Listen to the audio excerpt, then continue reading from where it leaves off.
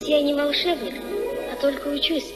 В магазине Hobby DN.UA всегда огромный выбор сборных масштабных моделей, качественный инструмент, краски и модельная химия от ведущих производителей, разнообразный автомаркет, декали, фототравления и много-много-много других товаров как для начинающих, так и для опытных моделистов. Новинки рынка, гарантия качества, доставка как по Украине, так и в любую точку земного шара, постоянным покупателям скидки. Hobby DN.UA – это твои увлечения. Всем друзьям большой привет! Сюда! Сюда! Быстрее! Сегодня мы продолжаем делать нашу диораму Чудское озеро 700 лет спустя. Почему такое название я объяснять не буду. Кто смотрел один из предыдущих роликов, тот знает. Кто не смотрел, ему интересно, милости прошу на канал. Посмотрите.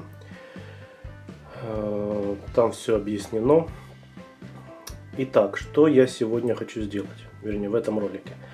Значит, программа минимум это сделать гусеницы. Ну, И все, сделать гусеницы, да, прямо минимум.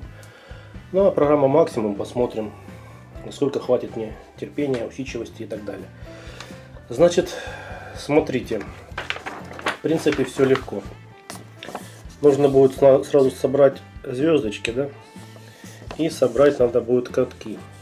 Вот, 10 штук. Я собрал я все катки, звездочки, всю вот эту вот лабудень. Ну что со- собрал, что просто отрезал от литников, ну, как вот эти вот штучки. Значит, что хочу вам спросить. Я и отвечу на этот вопрос чуть позже. Итак, что, на ваш, по вашему мнению, самое сложное вот э, при сборке, покраске вот этих всех звездочек, леницев, катков? Как вы думаете? Э, Ну, пока вы думаете, я вам еще расскажу одну такую штучку, которая мне очень понравилась.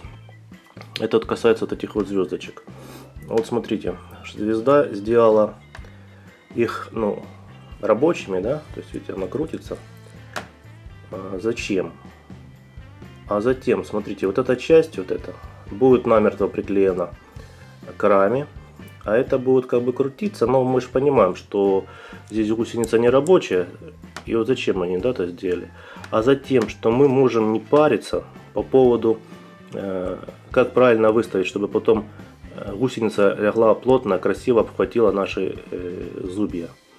То есть мы сделали гусеницу и просто уже на месте под нее подвернули как нам надо и вставили гусеницу, не будет у нас ни щелей, ничего. То есть ну, решение на самом деле гениальное. И спасибо звезде за вот это. Э, Ну, вы помните, да, кто собирает танки, бывают такие варианты, что надо вот именно э, звездочку под звездочку э, гусеницу сделать. Ну, короче, есть такие моменты. А здесь э, нам жизнь упростили во много раз. И еще что хотела вот обратить ваше вни- внимание. Все-таки на качество литья. То есть вот здесь вот внутри ни капельки, ни облоя, ничего нет. Все пролито замечательно. Ну просто спасибо вам, звезда, за это.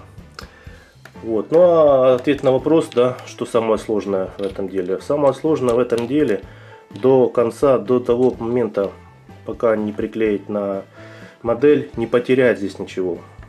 Был у меня когда-то случай с танком, я, блин, потерял, потерял каток. Но, правда, слава богу, я потом его нашел. То есть мне домовой поиграл и вернулся. И вернул, ну просто, блин, ребята, я не знаю. Такая проблема бывает, если что-то теряется, то уже его не находится. Хотя, казалось бы, куда она может деться. Поэтому самое сложное не потерять это ничего. Так, ну что, друзья, начинается работа, которую кто-то ненавидит, кто-то обожает, кто-то считает, что она нудная, кому-то она интересная. Однажды она захватила нас. И теперь никогда не отпустит. Это сборка гусениц. Да, ну в данном случае здесь все просто, они как бы псевдонаборные, да, то есть у нас много уже собранных элементов. Э, По сути собрать только надо закругления вот эти и все, и соединить их между собой. Э, Ну, я к чему это вообще все завел, этот разговор? Э, Снова хочу выразить благодарность звезде. Так уж получается, что что-то в этой части это не дифирамбы. Ну, из песни слов не выкинешь. Если что есть хорошего, то я так и говорю. Если это косяки, то тоже говорю. В данном случае, смотрите, что мы имеем. Да, нам надо 4 части по 9 звеньев траков сложить, да, для, соответственно, для четырех закруглений с одной и с другой стороны. Еще вот по одному звену у нас э, соединяется. Итого здесь получается энное количество, я считал, но уже не помню. Но я к чему веду, что на литниках, на литниках э, чуть ли не два десятка запасных вот таких траков присутствует.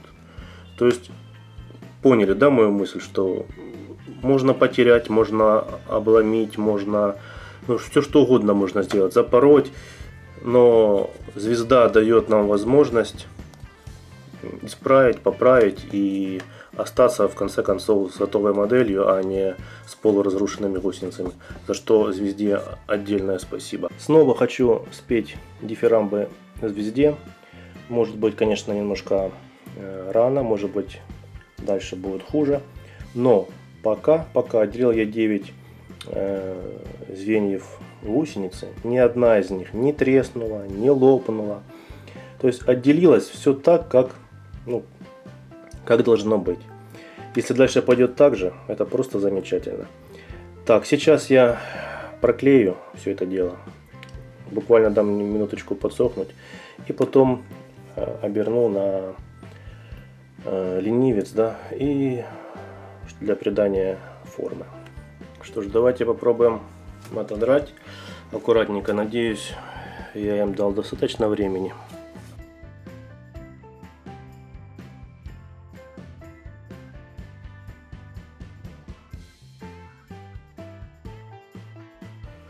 Вот, и сейчас мы обернем и надеюсь, что оно примет нужную нам форму. О. Сейчас буквально, может еще секундочку я выжду и сниму, чтобы она не успела приклеиться э, к ленивцу. Ну и по сути таким же способом я еще сделаю еще три таких же, но уже не на камеру, смысл вы поняли. Так, ну вот я насадил как бы катки звездочки на свои места, не приклеил только так вот. В натяг, кстати, хочу сказать, я не знаю, возможно это моя ошибка, то что я покрасил посадочные места, но они очень туго входят, э, даже, можно сказать, до конца не доходят. Я немного рассверлил, надо будет еще сделать сильнее перед, перед тем, как уже садить навсегда. То есть, то ли это моя ошибка, то ли действительно они узковаты. То есть, кто будет собирать, обратить внимание. То есть, есть небольшое такое неудобство. Так, а зачем же, в принципе, это все сделал? Сделал, это дело сделал. Это для того, чтобы формировать гусеницу, да. Буду сейчас потихоньку отделять детали и прилаживать, смотреть, как оно будет смотреться, соединять друг с другом и так далее. Ну вот я собрал верхнюю часть гусеницы, как бы сказать, одну половину, да. Я ну, так и собираю, половину верхней, половину нижней. Может быть, как бы и неправильно это, но мне как-то так удобно, и потом э, удобно их вместе соединять, как-то вот это привык, поэтому и здесь буду делать так по половинкам. Значит, что хочу сказать еще раз, чтобы обратили внимание. Обратите внимание, пожалуйста, вот сюда и вот сюда. Звезда уже сама отлила в отливках провисы. Не нужно формировать, за нас уже как бы все подумали. То есть как бы еще один плюсик в копилочку звезды. Звезда, ты ли это? Ну вот, друзья, хусляй готова первая. Сейчас вот немножко здесь подпер, чтобы оно немножко подсохнет, форму придаст. Да? Затем это все уберу и на эти же катки сделаю вторую. Ну, уже, естественно, показывать не буду, смысл тот же самый. И все, можно будет потом это все грунтовать и дальше заниматься с этим делом. В двух словах, По первой гусенице никаких проблем нет. Э, ни облоя, ничего не залито, все пролито отлично. Ни одна гусеничка не поломалась. Э, Пластик податливый, хороший, не хрупкий. То есть, ну, одни положительные эмоции. Так, все. Начинаю делать вторую. Сборка гусениц подошла к концу. Ровно как и катков со звездочками. И вот они уже готовы для грунтования. Сейчас я это все дело сделаю. А пока хочу вам еще показать. Вот смотрите. Сейчас, чтобы было удобно. Вот смотрите, целая, целая связка э, траков осталась. И вот здесь еще два штучки. То есть э, весь запас, который звезда дала, он и остался. Ни один трак не поломался. Э, И это была бы их вина. Не потерялся, это была бы моя вина. То есть все прошло отлично, так как и должно быть. И вот на память мне от звезды достанется вот такой вот э, целый арсенал таких вот запасных траков. Так, ну вот я прогрунтовал все. Здесь такая интересная история получилась. Может быть вы помните, я когда грунтовал раму и двигатель, э, грунтовка была серого цвета. Э, Ну и всегда я серой грунтовкой грунтовал, э, фирма Босни. И вот я, значит, вышел грунтовать, пшикнул раз на катки, и она благополучно закончилась. Вот. Пришлось ехать покупать другую. И тут мне пришла в голову такая идея. Дело в том, что я когда красил двигатель, да, было неудобно. Дело в том, что там серая грунтовка и серый цвет двигателя тяжело понять, разобраться, покрасил, не покрасил. А так как моя машина вся будет базовый цвет серый, и потом уже нанесем там зимний камуфляж, да, то это было бы вообще, вообще был бы капец. И поэтому я купил вот такую красную грунтовку, тоже фирма Босни. Как говорится, э, нет худа без добра, да? Если бы она не закончилась, я вряд ли бы ее купил бы красную. Так, теперь я сейчас, э, ну сейчас катки, а дальше уже корпус буду грунтовать красной грунтовкой. И мне будет все хорошо видно, где прокрашено, где не прокрашено. Вот такая вот история. Да, сейчас начнем потихонечку красить. Так, вот краска от Мига, да, я Rubber and Tires, то есть резина и, и шины, наверное, да. Э, Я покрасил бандажи на всех, пускай подсыхают. Теперь хочу э, покрасить звездочки. А вот смотрите, как я немножко ну, прогнал, не прогнал. Э, Дело в том, что сама звездочка я хочу сделать серой. А вот эта часть, она крепится к раме, а рама у меня черная, то есть по идее вот эта часть тоже должна быть черной. И вот я, видите, раньше времени склеил, надо было, наверное, поспешил, поторопился. Теперь придется ну, немножко повозиться. Наверное, покрашу черным, потом как-то то, то ли типа масочки, то ли чем-то там скотчем прикрою, покрашу это серым. Посмотрим, как-то как буду выходить из этого положения. Но просто те, кто будет собирать, да, наверное, не спешите. Наверное, все-таки надо покрасить, а потом уже собрать. Или же э, делать по-правильному. Дело в том, что, я надеюсь, вы меня простите, да, я крашу от себя, то есть я так понял по вашим комментариям, что он был по сути одного цвета, так как давалось в инструкции. И вся рама там темно-желтого цвета должна быть, по идее, и звездочки, все должно быть темно-желтого. Так как бы проблем не будет. Но вот я начал немножко своевольничать, да, и теперь у такие вот небольшие, ну, якобы проблемки. Не проблемки, небольшие трудности. Так, друзья, ну, покрасил я катки. Вот так вот оно сейчас выглядит. С ними работа еще будет продолжаться, пока они не закончены. Красил я их внутренности через линеечку. Очень хорошая, удобная. Выкрасила... Ух ты. Выкрасил я звездочки. Как я говорил, вот эта часть у меня НАТО Black. Это немецкий серый. И выкрасил ленивца, да, или как его называется, я не знаю правильно. Тоже в серый цвет.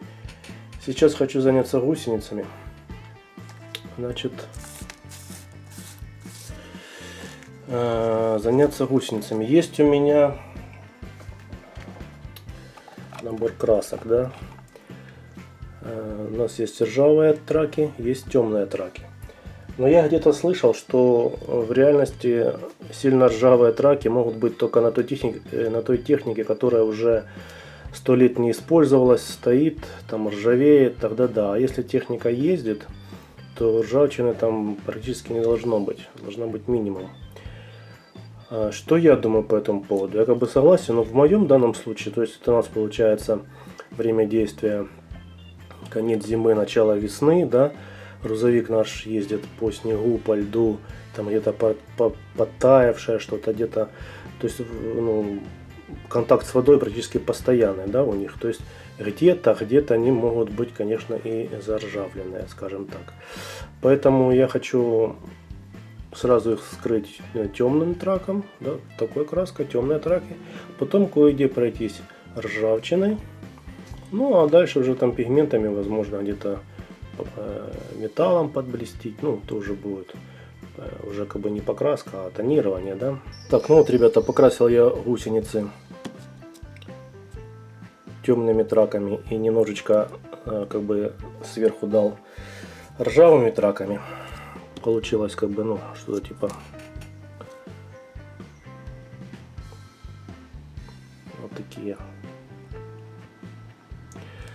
Теперь у меня есть два пигмента. Темный металл, светлый металл. И я сейчас еще э, пройдусь, кое-где заметаллизирую. Есть у меня еще пигмент снег, который тоже обязательно будет, так как диорама зимняя. Но я думаю, что уже ним я буду скрывать полностью, когда будет готова модель, чтобы увидеть все в комплексе, как оно будет. То есть это будет ну, чуть попозже. Вот давайте сравним чисто для... Вот покрыт пигментом металл.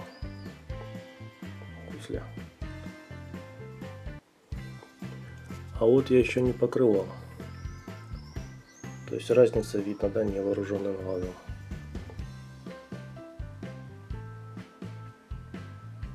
Итак, друзья, продолжаем работу с катками. Что именно хочу сделать? Ну, вы знаете, что я хочу сделать зимний камуфляж, а его никогда не делал. Руководствуюсь роликами Сергея Саратова. Он там делал Прагу. Буду делать, пытаться делать как он. Поэтому, если получится, то спасибо Сергею. Если не получится, то это все мои кривые руки. Итак, ну, чтобы полностью всю модель да, не испоганить, начнем с катков. Их тоже нужно будет.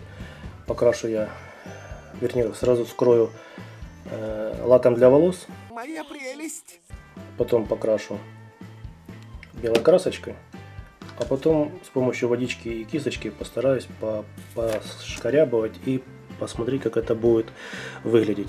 Почему с катков понятно, если вдруг что-то запарю, тогда будем что-то что-то переделывать или может быть даже менять концепцию. А если все получится, то туда это мы перенесем потом на, в дальнейшем на сам грузовик. И, кстати, да, вы как бы, может, заметили, э, в этом сериале я как бы поломал свои традиции. Я всегда полностью собирал модель, потом уже красил ее. А здесь как-то мне вот ну, с первой части как пошло, что собрал, покрасил. Так решил ее, эту традицию как бы и продолжать. Так, ну вот, вроде как бы покрасил, да. Сейчас будем делать эксперименты.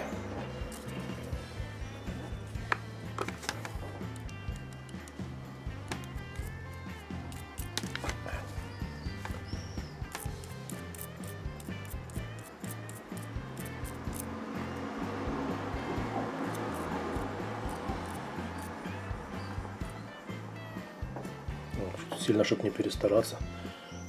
Пускай, наверное, там будет. Давайте я сейчас не на камеру все поделаю, а потом покажу, что получилось. Ну вот увидите, что у меня получилось. Ну, можно сказать, что как бы нормальный результат. То есть мы видим, что э, тут камуфляж, который был нанесен, скажем, поздней осенью, за всю зиму, стерся, вытерся. И кое-где следы еще остались. Но, скажем так, не везде. Поэтому я как бы доволен и буду продолжать весь автомобиль делать в таком э, стиле. Ну а сейчас, наверное, я все-таки соберу ходовую э, как бы до кучи, да, прицеплю ее на раму, и программа минимум будет выполнена. Ну что ж, товарищи, друзья, на сегодня, наверное, все. Гусеницы готовы, ходовка полностью готова. Представление о камуфляже мы имеем. Э, Ну, баночка с краской здесь для того, что центр тяжести нарушен. Он сейчас клюет носом вперед, да? Поэтому, чтобы стояло. То есть вот так вот выглядит. Света добавлю. Вот так вот все сейчас это выглядит. Вот. Ну, сами понимаете, что особой пыли больше здесь не будет. Больше здесь может все такое мокрое будет. Пыль здесь как бы не нужна. А вот еще там снежком я притрушу, но это уже будет на основании. Так, и э, да, хотел сказать, что как бы все закончил. На самом деле нашел еще такую штуку, гляньте. Вот эту вот, вот эту вот детальку с одной с другой стороны забыл поставить. Ну, я думаю, что я поставлю ее уже без вас. Увидите вы уже в следующем ролике ее. И в следующем ролике мы займемся кузовом. Здесь уже пойдет, по идее, фототравление. Надо будет глянуть, хорошо посмотреть. Сюда же, я думаю, сразу и тент сделать. Хотя он там далеко, где-то дальше. И, возможно, возможно, э, кабину, начало кабины. То есть, ну, вот до, до такого вот состояния. Но кабину пока точно не обещаю. А кузов с тентом, я думаю, мы добьем в следующей серии. Вот. Ну, на этом все. Затягивать не будем.